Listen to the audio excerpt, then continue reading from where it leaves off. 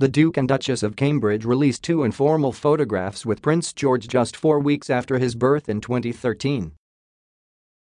The proud new parents looked happy and relaxed in the images, which were taken by Kate's father Michael Middleton in the garden of the Middleton family home in Bucklebury, Berkshire. William and Kate released a new family photo before embarking on their royal tour of New Zealand and Australia in 2014. Captured by Jason Bell at the couple's London residence Kensington Palace, it shows eight-month-old George carefully being held by his mother as he stared inquisitively at the family's pet spaniel Lupo. Prince George attended his very first public engagement at Government House in Wellington, where he enjoyed a special playdate with a group of children all born around the same time as him.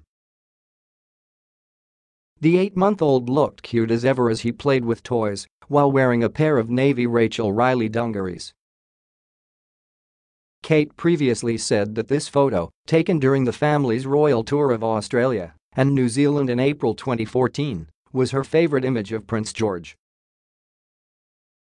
It shows the youngster looking adorable as ever as he nuzzled into his mother's neck for a hug during his royal playdate at Government House in Wellington. George showed he had mastered the art of walking unaided in an official photograph released ahead of his first birthday in July 2014.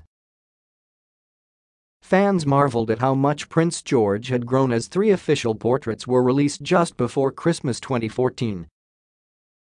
The images were the first to feature Prince George on his own and showed the 17-month-old bearing a striking resemblance to his father Prince William as he sat in an adorable Navy London Guards tank top.